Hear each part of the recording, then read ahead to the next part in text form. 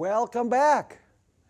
We need to continue our study now on uh, the symbolism that is used in the Bible. How do we interpret symbols correctly? And as we ended our last, last session, we were talking about the fact that symbols are liquid or symbols are fluid, which means that they take different shapes depending on the context in which they appear. And so I want to give uh, several examples here that we have in our syllabus.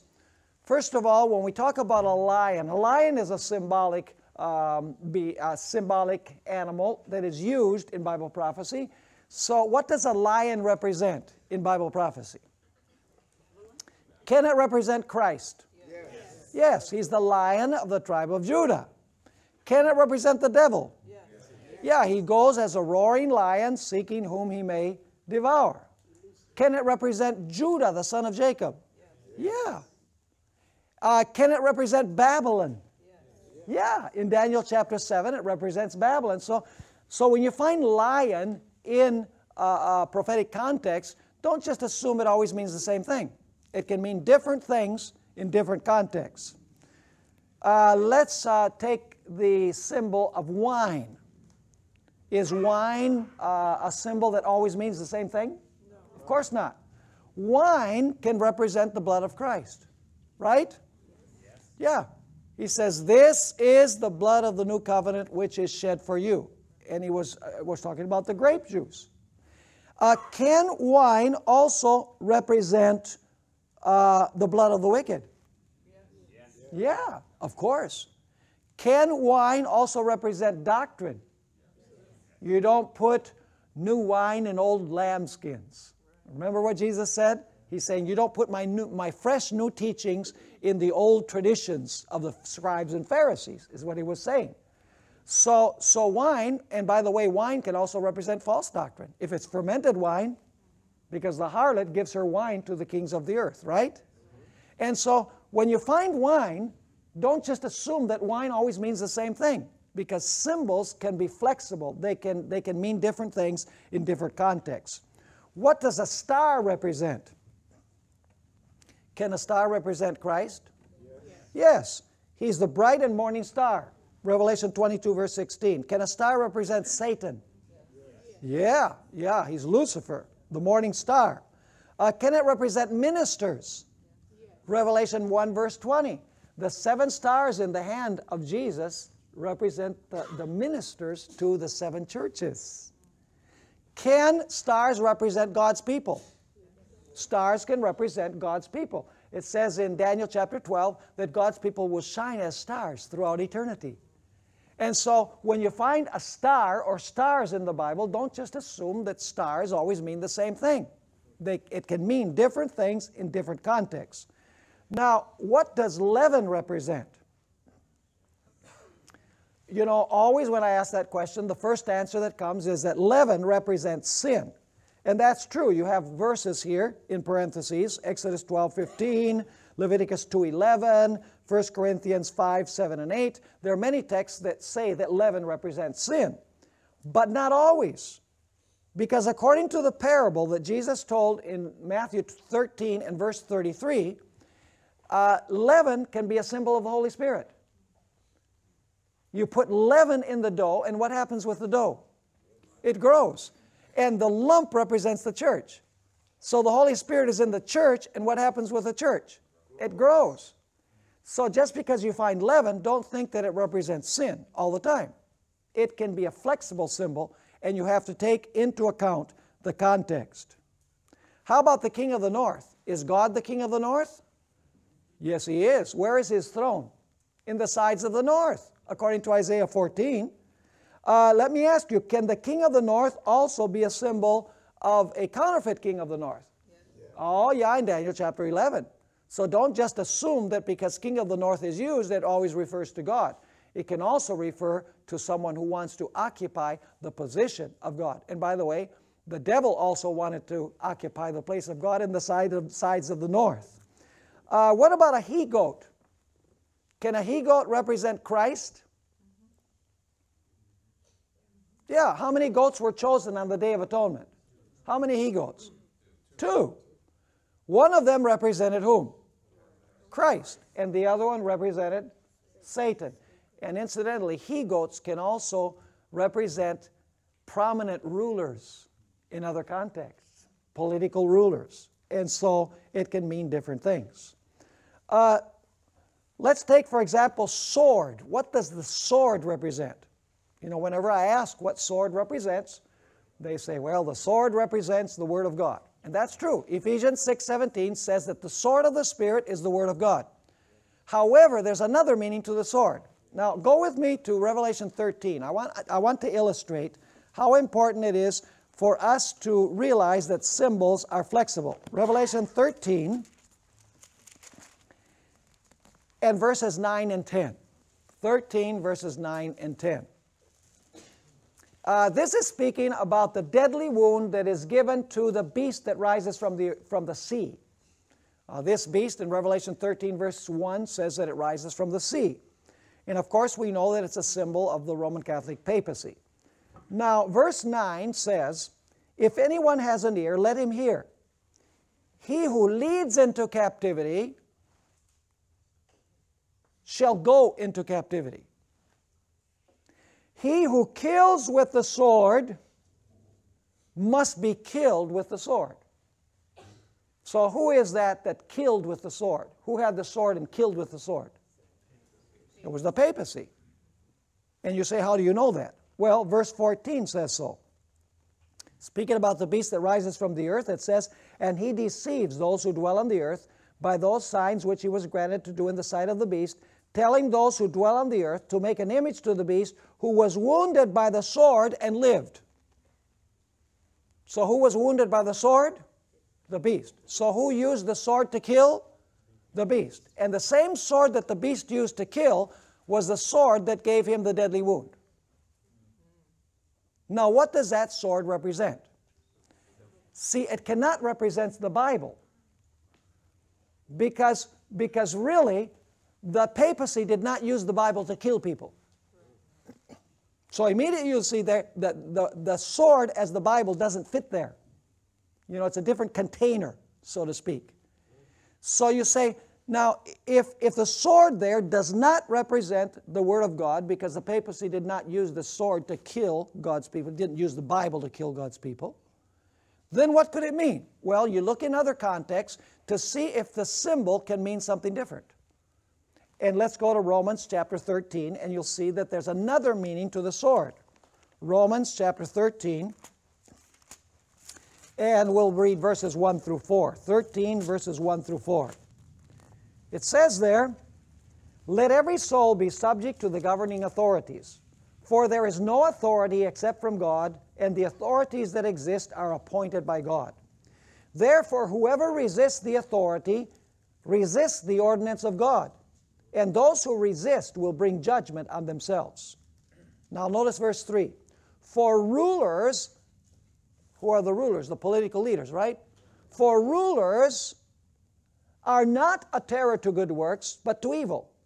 Do you want to be unafraid of the authority? Do what is good, and you will have praise from the same. For he, that is the civil ruler, is God's minister to you for good. But if you do evil, be afraid, for he does not bear the sword in vain. Does a civil ruler have a sword? Yes. Do you know what the sword of the civil ruler is? It is used to punish violations of civil law. Can the civil power punish violations of religious law? For example, if people, if, if people uh, don't worship on Sunday, but they worship on, the, worship on the Sabbath, does the civil power have to say, well, you've got to worship on Sunday? You can't worship on Sabbath? Of course not. Because the sword, the sword of the civil power can only be used to punish violations of civil law, not religious law. It cannot legislate the first table of the law, it can only legislate the second table, which protects relationships between human beings in society. So that the state has its sword, which is the right to punish violations of civil law. And the church has its sword, which is the Word of God, the Bible. Now, how does the church use the sword? By preaching. You read Hebrews 4, verses 12 and 13. It says that the sword, that, that the Word of God is like a sword, it a double edged sword, and it penetrates into the innermost depths of the human heart. And that happens when we preach. The Word goes through the ears and it goes all the way and it pierces the heart. So the church has its sword, which is the Word of God. The civil power has also its sword, which it uses to punish violations of civil law. So when we find the word sword, does it always represent the same thing? No. It can take on a different shape depending on the context in which it appears. Yesterday I mentioned the expression sons of God. You know, in uh, Genesis chapter 6, it says that the sons of God saw that the daughters of men were beautiful. And so theologians, uh, many, many theologians, uh, not Adventists, but non Adventist ones, they say that the sons of God in Genesis 6 were actually angels. And the reason they say that is because in the book of Job, it says that when God created this world, uh, the, the sons of God shouted for joy and sang. And obviously, uh, human beings were not around at that time. And so uh, the, the sons of God who shouted and sang for joy when God created this world obviously represents what? Angels. So what they do is they take Job you know where it says the sons of God came to present themselves before the Lord. And then chapter 38, verse 7, where it says that they sang at creation. And they say, see, sons of God here means angels, so in Genesis 6 it means angels. Big mistake. Because symbols are flexible, symbols are liquid. And they have to be taken within their context. What is the context of sons of God in Genesis 6? The context is clear. Right before it says the sons of God came into the daughters of men, it gives the genealogy of Cain, and there are three women in the genealogy of Cain. Those are the daughters of men, by the way. And then you have the genealogy of Seth, those are the righteous, and then in 6 1, sons of God and daughters of men. The context indicates that the sons of God are those from the holy line, from the holy line that would eventually lead to the Messiah. Are you following me or not? Uh, furthermore, in Scripture, uh, God's people are called sons of God. Behold, what manner of love the Father has given us that we should be called what? The sons of God. So, converted people are sons of God as well. So, the holy line were people that were converted, they were the righteous, and they're called sons of God. So, my point is that whenever we find symbols, let's not assume that that symbol means the same thing everywhere, because symbols are liquid or symbols can take different shapes depending on the context in which they appear. Now, the next point is very important at the bottom of page 28. It is important not to isolate a symbol from its context. Do not lose sight of the forest for the trees. Remember that each individual symbol is only one piece of the puzzle and not the puzzle in its entirety. Once you have discovered the meaning of each individual symbol, then you can put them together to get a complete picture of what God wants to teach. Uh, an illustration of this that, that we used at the very beginning of this class was the rock episode. We have three symbols in that story of the rock. We have a rock, we have a rod, and we have water. So, what do you do? you, you want to look at the total picture. But in order to get the total picture, what do you have to do? You have to interpret, well, what does the rock mean? And then you say, now wait a minute, what does the rod mean? And so you look at the meaning of the rod. Then you say, well, what does the water represent? So you look at the water. And then once you've interpreted each individual symbol, you put them together to get the complete picture. Are you understanding what I'm saying? So, in other words, it's, it's no good just to interpret individual symbols. The purpose of interpreting different symbols is then to put them together in a tapestry so we see the whole picture. Don't get all caught up in the trees, in the individual tree. You know, look at the forest. Look at what God wants to teach through a combination of all of the symbols and not only individual symbols. And so it's very important for us not to isolate a symbol from its context, the purpose of studying each individual symbol is to then get the complete picture. I like to consider symbols, like the, there's lots of symbolism in uh, Revelation chapter 11. Tremendous symbolism there. Now, I like to, to uh, compare that symbolism with the parts of a, a painting, an oil painting.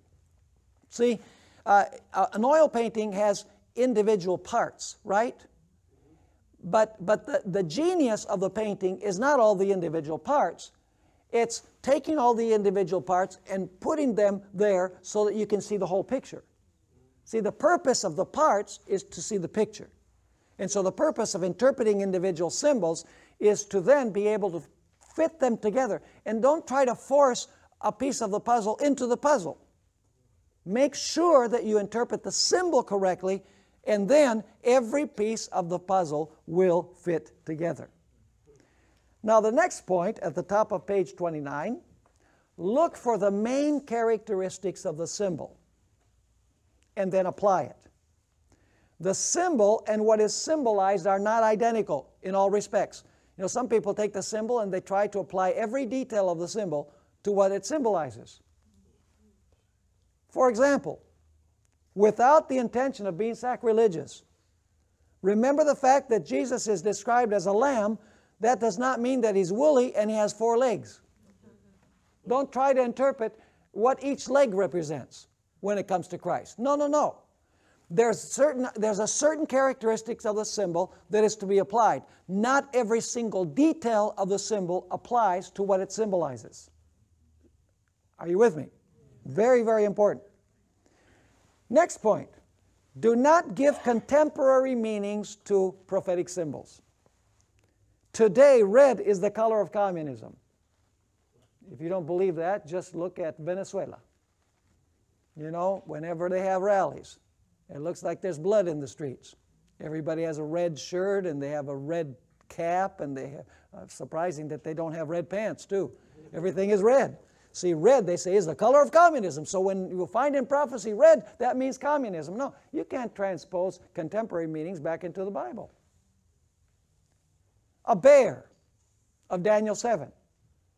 You know, does that mean that the bear represents Russia? Because, because Russia has a bear on its flag? Of course not. A lion. A lion is the symbol of England. So in Daniel 7, the lion is England, right? Of course not. You know, Babylon in Revelation, is that talking about the, the literal city of Babylon? Of course not. And so, what we cannot do is take contemporary meanings of symbols and then apply them uh, to Scripture and say that's what they mean in the Bible. We have to allow the Bible to interpret its own symbols and tell us what those symbols mean. Now, for the next few minutes, I want us to take a look at uh, several categories of symbols. The first category is that persons are symbolic. I've, I've made a long list here of different types of symbols uh, to kind of help us along in interpreting these symbols. First of all, in prophecy, persons are symbolic. For example, a woman. We've studied what a woman represents. A woman represents the church. A pure woman represents a pure church, and you have several texts there. A harlot woman still represents a church, but it is an apostate church. It is a church that has gone astray from the Lord. Balaam. You know, you find in the book of Revelation, Balaam, Revelation 2 and verse 14, in relationship to the church of Pergamum. Interesting. What stage of church history is represented by Pergamum? Well, Ephesus is the apostolic church, right? Then you have Smyrna. That's the church that is persecuted by the Roman emperors. Nothing bad is said about Smyrna. You know, God has some things against every church.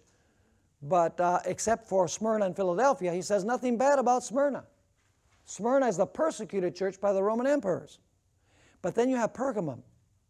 Pergamum is the church where apostasy enters the church in the days of Constantine. In other words, the devil is saying, if I can't, if I can't kill him, That's what he does under the previous church, Smyrna. He says, if I can't slay all the martyrs with the Roman, through the Roman emperors, then I've got to use a different method. He says, what I'll do is I'll infiltrate them. So you have the same method he used back in Genesis. If I can't kill the seed, let me just mix the two seeds. And you find that constantly throughout Scripture. And so, and so Balaam is mentioned in the context of that church. So why is Balaam mentioned there in the context of the church of Pergamum? That's where Satan's throne is, by the way. It's mentioned there in Revelation. The reason is very simple. Did Balaam attempt to curse Israel from outside? Yes, yes he did. Was he successful? No. So what did he do? He introduced apostasy into Israel by getting them to commit fornication and adultery, and then they fell. See, so the whole story of Balaam illustrates what happened during the church of Pergamum. That's why Balaam is mentioned. You know, we can also mention Jezebel. Jezebel is mentioned in the context of the church of Thyatira. And you have a whole handout on the church uh, that existed in the Middle Ages. It is the Elijah, the ecclesiastical Elijah, is what I call it. Because you have all kinds of Elijah symbolism connected with the church, uh, with the fourth church of Revelation, beginning with the fact that Jezebel is mentioned. And then if you go to Revelation 11, it says that, that the two witnesses, during the time that they're prophesying, which is the Bible, it says that there is no rain. And there is no rain for three and a half years. Does that start ringing a bell when it comes to Elijah? And so, what is Revelation uh, saying when it uses Jezebel in the fourth church? It's saying, hey, folks, you need to go back and you need to study the whole story. Because that whole story in the Old Testament is a symbol of what happened during that stage of the church. Is that making sense? And so persons in the Bible are symbolic. Is Elijah symbolic? Of course, Elijah is symbolic. There are four Elijahs. Actually, there's three, but the last Elijah has two stages. Let me explain. The first Elijah is the historical Elijah. If you want to understand the succeeding Elijahs, you have to thoroughly know the story of the first Elijah because that is the historical root.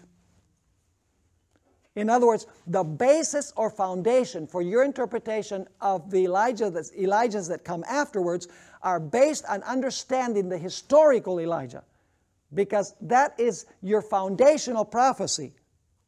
And then when you know that story, you're able to discern the fulfillment of that in succeeding uh, in succeeding passages of Scripture. And so you study the, the story of Old Testament Elijah, and basically you have, first of all, uh, a king. What kind of a king is he? A wimp. The Bible says that Jezebel just manipulated him and did whatever she wanted with him. A wimpish king. You have a harlot woman Jezebel. She was also a witch. Yeah, it says in 2 Kings 9, verse 22, that she practiced the occult. Interesting, because Revelation says that the harlot also, the harlot called Babylon, also is involved in witchcraft, or sorcery is the word that is used there. And so you have a harlot woman. And then you have the prophets of Baal who are the instruments of the woman because they eat at Jezebel's table, and you don't bite the hand that feeds you, as they say. And so, and so who is manipulating this whole story? Who is the dangerous figure in this whole story? Jezebel. Jezebel's the dangerous figure. She, she pulls all the strings. You see, she wants to kill Elijah, so she manipulates the king and she manipulates the prophets of Baal. And by the way, she wants everyone to worship Baal, the sun god. But there's this fly in the ointment who is Elijah. By the way, in the Old Testament, Elijah is a person. The New Testament Elijah, or what I call the prophetic Elijah, is a person. But after Jesus dies on the cross, Elijah becomes a movement. There you have our principle. See, things are literal until the Jewish nation passes as God's literal people. Then you have, during the Middle Ages, it's not one person, it is like the Waldenses and the, and, and the Albigenses. Elijah becomes not one person, but it becomes a movement of people. And at the end of time, Elijah will be a worldwide movement, not one individual. Are you understanding me? And so you look at the story in the Old Testament and you find the protagonist, you know, and Elijah has to flee. He's blamed for the calamities. And you look at the end of Jezebel and you look at the end of Ahab, and all of this becomes then typological of the Elijahs that come afterwards. And so then you come to the New Testament Elijah. In three texts, Jesus says that the New Testament Elijah is John the Baptist. And so you say, now, wait a minute, John the Baptist is Elijah.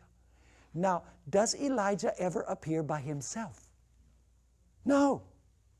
If Elijah appears, his enemies appear with him. And so, he, so John the Baptist has to have three enemies, and the story has to develop in a similar way to the historical Elijah. And in Mark 6, you have this, the fulfillment of the story with New Testament Elijah. Is there a wimpy king? Herod. He's a wimpy king, isn't he? Easily, easily manipulated. He has no backbone.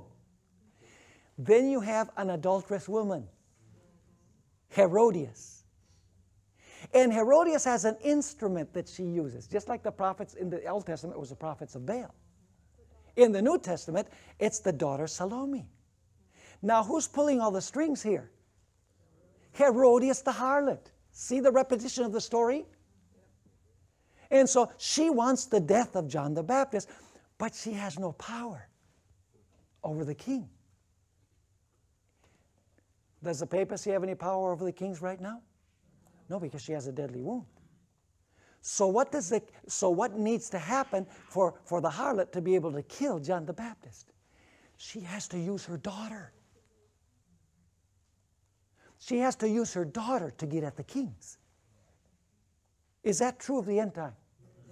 Yes. See, that the papacy has a deadly wound the relationship between the harlot and the kings of the earth has been severed. But the harlot will use her daughters to influence the kings to eliminate God's people. Are you with me? And so the, the historical Elijah becomes the foundation to understand the New Testament Elijah, to understand the ecclesiastical Elijah, and to understand the, the broadest fulfillment of the prophecy, the end time global worldwide Elijah. Does the end time Elijah also have three enemies? The dragon, the beast, and the false prophet. And do you know what's interesting?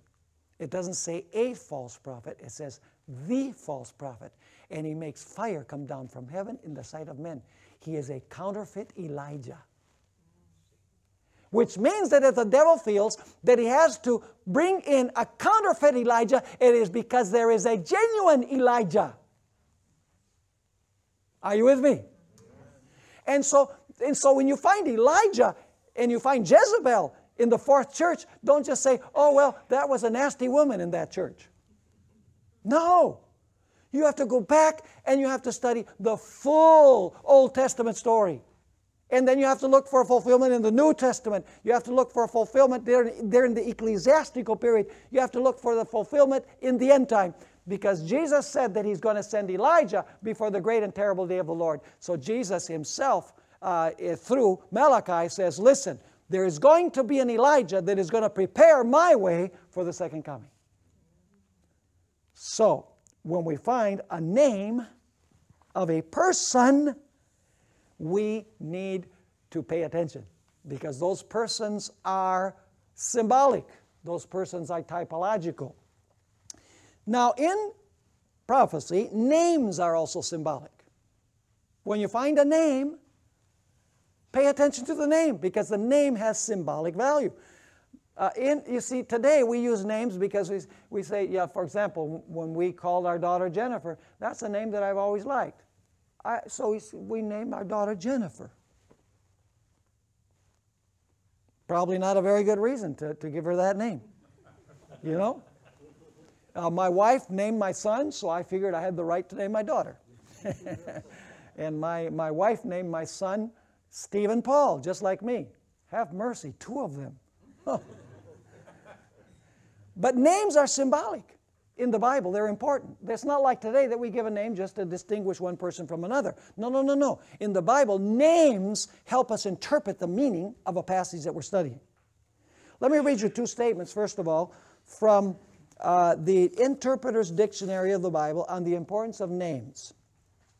This is volume 3, pages 500 and 501. In biblical thought, a name is not a mere label of identification. It is an expression of the essential nature of its bearer. A man's name reveals his character. This is in biblical times. Adam was able to give names to the beasts and birds because, as Milton says, he understood their nature. In the next statement, which is found uh, in volume 3, page 502, it says to speak or act in someone's name is to act as the representative of that person and hence to participate in his authority. Which means that if you do something in the name of Jesus, you are participating in his authority because you are using his name. Similarly, to be called by a person's name implies ownership by the person. Whatever is so called comes under the authority and the protection of the one whose name is called upon it. That which is called by Yahweh's name, that is uh, Jehovah, is his possession and therefore comes under both his authority and his protection. Now let's take a look at some biblical names. This is only a, a short list of examples about the importance of a name.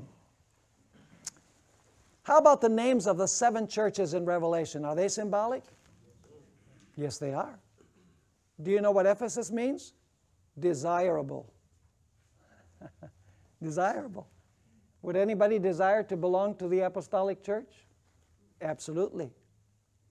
What does Smyrna mean? It means bittersweet myrrh. Do you know what myrrh was used for? To embalm the dead. In the church of Smyrna, if you read the message, it has all kinds of death language because this is the period when the church is being slaughtered by the Roman emperors. Pergamum means acropolis or height. And of course, the church at this time was favored by the empire, and after the valley of persecution, it was at the heights. Laodicea means judging the people. Philadelphia means brotherly love. Is that true of the Millerites?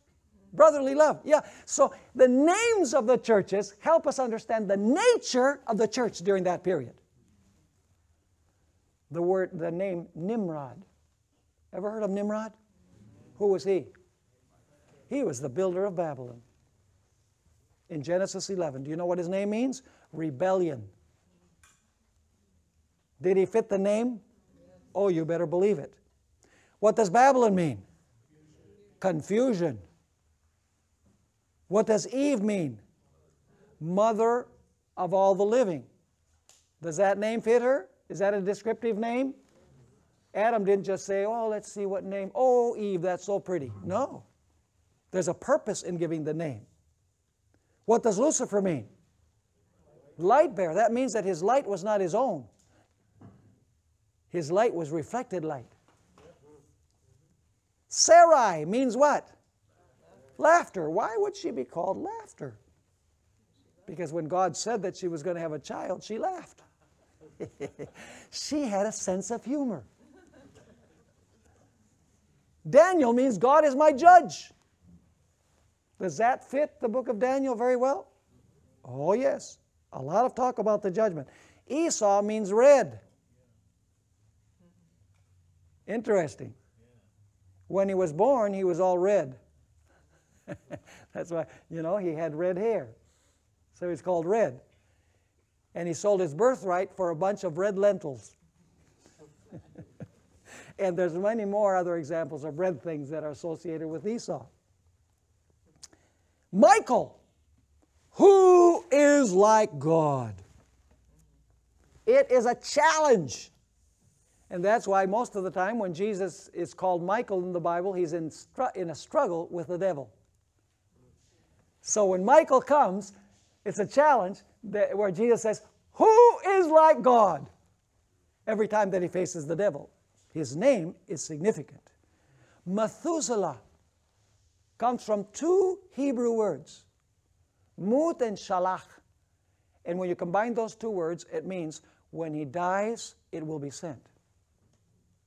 What a strange name to call a son. When he dies, it will be sent. Why would he have this name? It's very simple. Methuselah died the year of the flood. And I'm not going to take the time now to prove that. Do you know that Jewish tradition says that Methuselah died 10 days before the flood? We can't prove biblically that it was 10 days before the flood, but we can prove that he died the year of the flood. So his name, the name that was given to him by Enoch, was a prophetic name. It was an announcement of when the flood was going to come. When he dies, it will be sent. So our name's important. Yes. What does the word Satan mean? Accuser. Does that fit him well? Oh, yes. What does the word devil mean? Diabolos. It means slanderer. Was he a slanderer? Oh, yeah. Is he a slanderer? Yes. Elijah means, My God is Yahweh. My God is the Lord. Not Baal, Yahweh. Enoch means dedicated. Was Enoch dedicated to the Lord? Most certainly was. Ezra means help. This is interesting. Ezra means help. What does Ezra help to do? Ezra and Nehemiah both helped to rebuild Jerusalem. Lazarus, oh, excuse me, Nabal means fool. In fact, his wife said, you know, he's rightly named. fool. What does Lazarus mean? It means may God help. Why is that significant? Because he certainly was not helped by the rich man. so may God help me. In other words, it is what it means. Israel means Prince of God. And of course, you know that Jacob before that means supplanter. So he was changed from a supplanter to a Prince of God.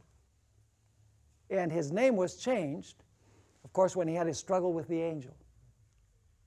And he said, I will not let you go until you bless me. Solomon means peace giver. Uh, here we have a New Testament, Boanerges, sons of thunder. It expressed well they were they had a hot temper, James and John. Moses means one drawn out. Why would he be called one drawn out? Because he was drawn out of the waters. Beth now here's an interesting combination. Bethlehem means house of bread. Where was Jesus born? In the house of bread. Where did he grow up? And that means to sprout or to shoot up. and he suffered in Gethsemane, which means the olive press. And he was crucified at Golgotha, the place of the skull. Interesting. Those names help us to understand the character of those places. Jordan means descender. Say, why would the River Jordan be called Jordan, descender? Because the Jordan River originates at Mount Hermon, you know, the, near the Golan Heights. And when the, when the Jordan River begins, torrents of water come down the, the Mount Hermon, and then they come to the valley, and then the river flows down the valley into the Sea of Galilee and then out to the Dead Sea. And so it's very appropriately named Descender. And then you have Isaiah, salvation of the Lord. Is, doesn't he describe the salvation through the Messiah? Of course. And then you have Yahweh Jireh. That's the name that, that, that, uh, that we find when Abraham takes his son to offer him on Mount Moriah. He called the mount Ma, Ma, Yahweh Jireh. That is, the Lord will provide. Why was it called the Lord will provide? Because God did provide a ram in place of his son. And you know, it's interesting. Isaac is a twofold symbol. Before he's placed on the altar, he represents Christ. But only up till that point. And he also represents Christ in the fact that the third day, by the way, this is happening the third day if you read the story, Abraham receives him back alive. And Hebrews says that it was like he resurrected from the dead. However, Isaac was not killed, so he could not be a symbol of the death of Christ. He's a symbol of the submission of Christ to the Father. He's a symbol of Christ in the sense that the third day Abraham received him alive after, that he, after he considered him as good as dead. But Isaac was not sacrificed. That's why you needed another symbol, which was the ram. Are you following me? Now, Delilah, the consumer. Does that fit her character very well? Oh, her love consumed poor old Samson. Emmanuel means what? God with us. Jesus means Yahweh saves or Jehovah saves. Christ, Christos, means anointed. Jacob, supplanter. We already had Israel, Prince of God. Armageddon means Mount of the Congregation.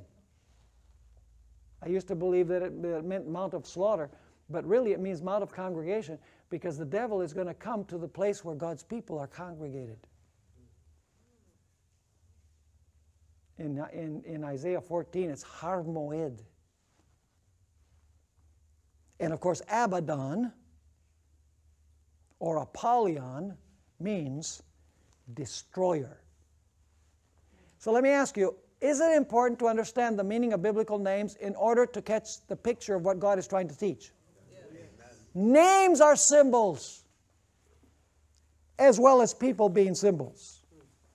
Now, numbers are also symbolic.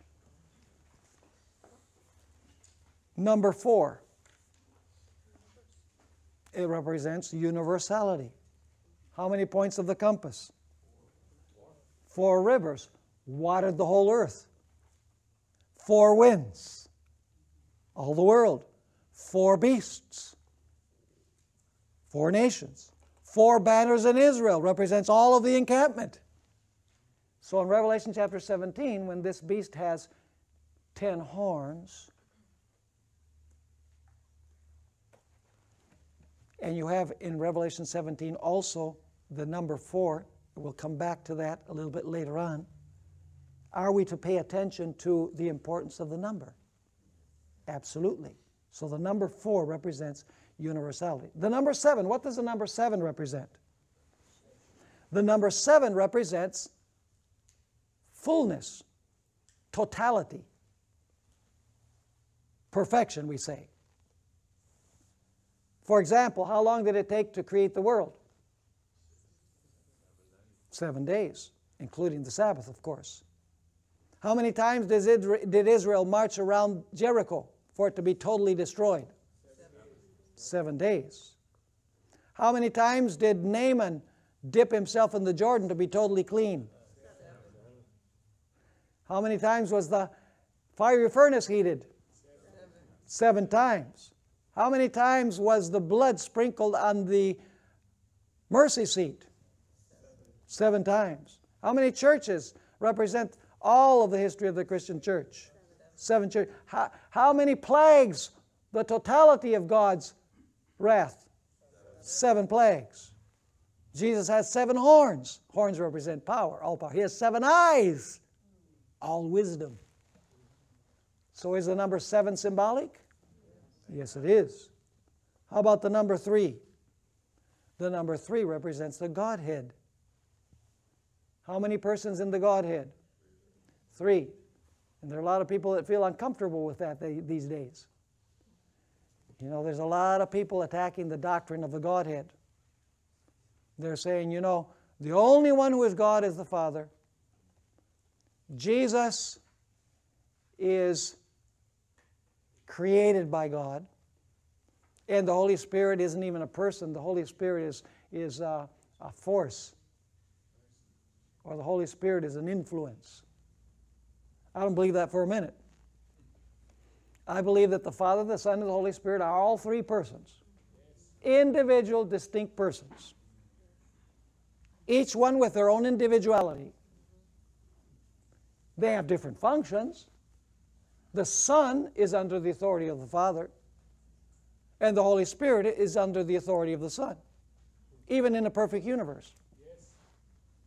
You know, the reason I emphasize that is because there's this argument by those who are discussing this issue of, of the roles of men and women in the home and in the church.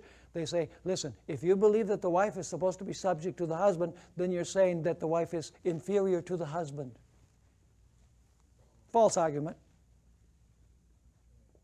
Because if you argue that way, then you're going to have to say that Jesus is inferior to his Father because he subjects himself to his Father.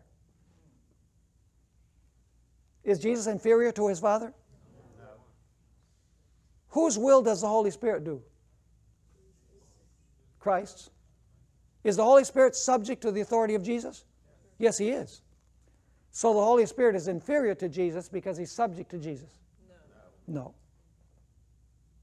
You see, subjection does not mean inferiority. Two equals can have one subject to the other and still be equal. But somehow people don't understand that. They find it difficult to understand that. But it's very clear in Scripture that even before sin, the Son was subject to the Father. There's nothing bad in that, folks. Subjection is divine. Wanting to ascend is diabolical. Jesus said, The greatest is the least. He who becomes a servant is the greatest. All this fight, I want this position, and I want to, I want this, and I want that. That is not of God. Anyway, how did I go, get off on that subject?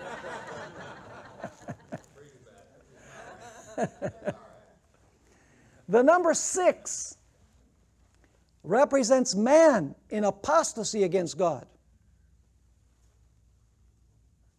Particularly the number 666. Do you know the first time in the Bible where 666 appears? Solomon's yearly income was 666 talents of gold. And you know what's interesting? Immediately after the Bible says that that was his income, in the very next chapter, it speaks about the apostasy of Solomon. And it gives two reasons. Number one, his riches. And number two, fornicating with women from foreign nations.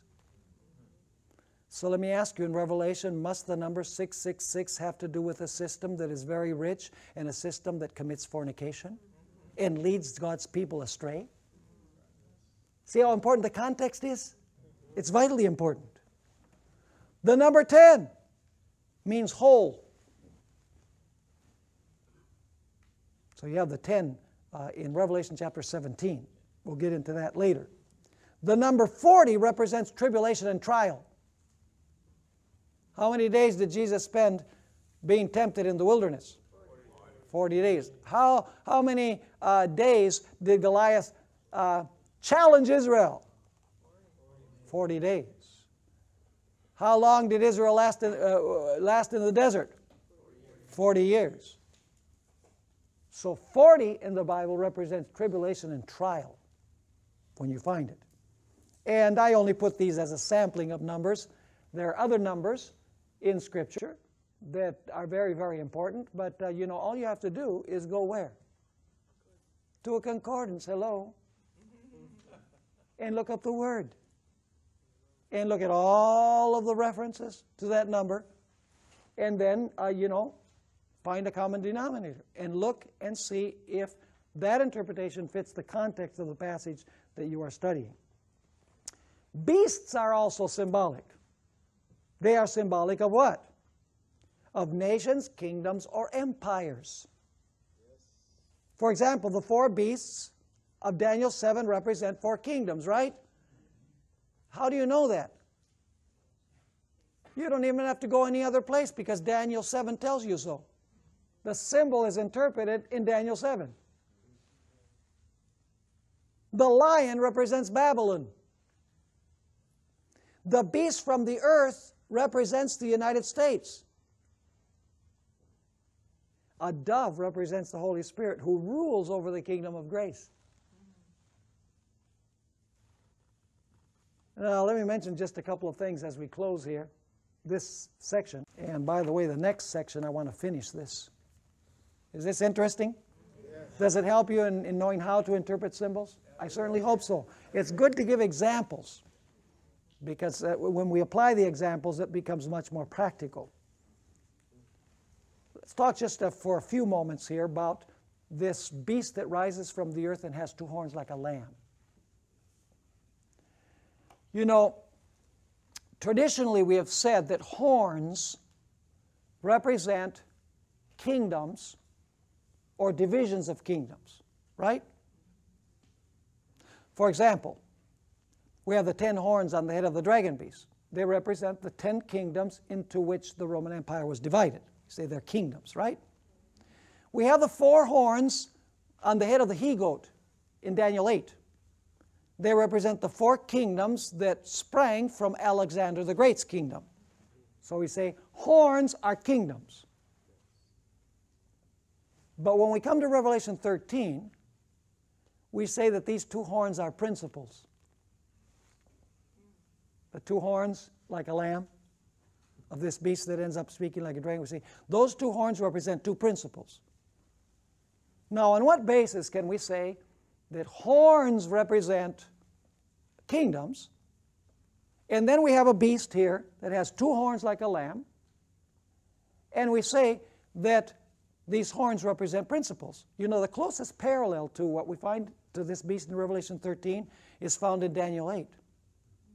There is a ram that has two horns, and one is taller than the other. See, a ram is a male sheep, right? That's the closest parallel to this beast that rises from the earth, is Daniel 8, the ram. It has two horns, and one of them is higher than the other. And the highest one came out last because the Persians uh, you know, became predominant later on. The, the Medes were only there at the very beginning, then they disappeared, and all the rulers after that were Persians. So this, this uh, prophecy of Daniel 8 can be proved historically that it's true, that uh, the, this kingdom was composed of two kingdoms, right? What do the two horns represent? There was only one, there was only one nation, but that one nation was composed of two what? of two kingdoms the Medes and the Persians. So if we go to Revelation 13, we ask the question Would these two horns represent two kingdoms? The answer is yes.